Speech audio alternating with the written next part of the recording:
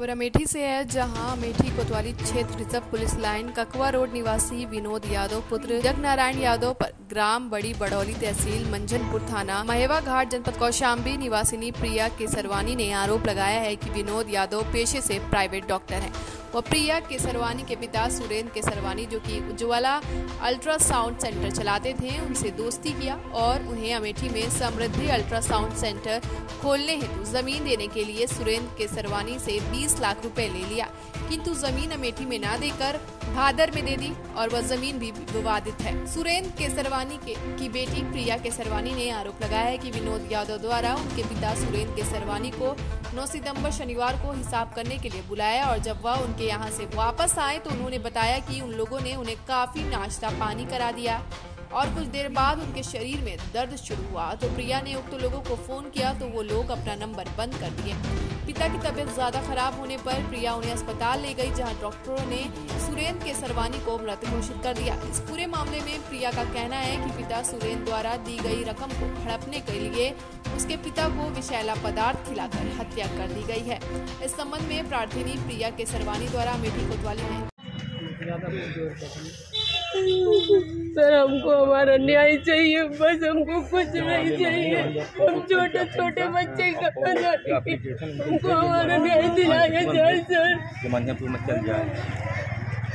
Sir हमको हमारा न्याय दिलाया जाए बहुत दुख है हमारे साथ। मेरा नाम प्रिया केसरवानी। है ये बताइए आपके साथ क्या घटना घटी?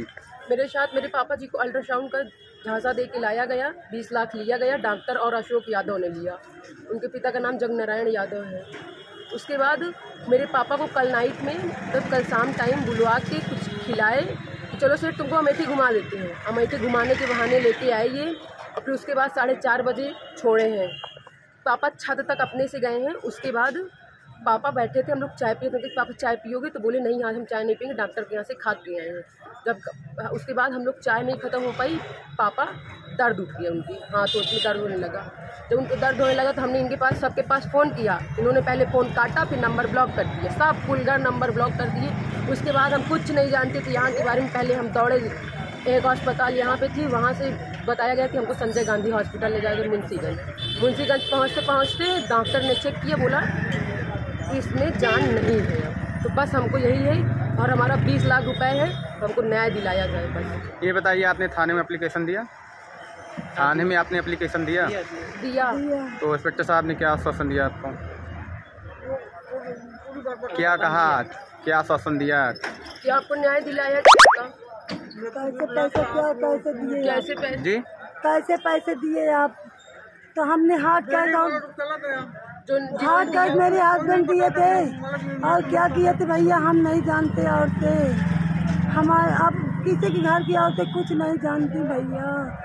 कि पैसा कैसे है मर्द लाते हैं कैसे देते हैं?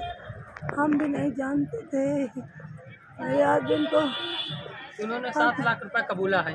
कितना? सात लाख रुपए उन्होंने कहा कि दिए हमको। और सात लाख रुपए ने कोतवाल साहब के सामने सात लाख रुपए उन्होंने कबूला है। और उसके बाद बोले हैं कि एक लाख पच्चीस पैंतीस हज़ार हमने दे चुके हैं। नहीं वो देने की बात नहीं करे थे। एक लाख का वो मुआवजा जो होगा वो दिया जाएगा कह रहे हैं। सात लाख को उन्होंने बात किया है बोले। और हम ये चाहते हैं कि बच्चे आज अनाथ हो गए हैं। उनको न्याय मिले और इनके बीस लाख रुपये मिले प्लस जो इनकी क्षति हुई है उसको जो है हमारी सरकार से जो दरखास्त है कि इनकी क्षति की भी भरपाई की जाए क्योंकि बैंक आज हम सब बच्चे अनाथ हो चुके हैं हमारे बाप का साया उठ चुका है हमारे सर से सर हम छोटे छोटे बच्चे क्या करेंगे कहाँ जाएँगे? बस हमको हमारा न्याय चाहिए बस। बैंक हमको जीने नहीं देगा। आए हैं। लोग लोग इन- इनको नहीं रहने देंगे गाँव में पहली बात उनके घर द्वार देंगे। अब हमारी जब घर द्वार सब नहीं है ज़मीन बेच के इनको इन्वेस्ट किए थे बीस लाख। हमको न्याय तहरीर दी गई है। अमेठी से अश्विन तिवारी की report TV one India news.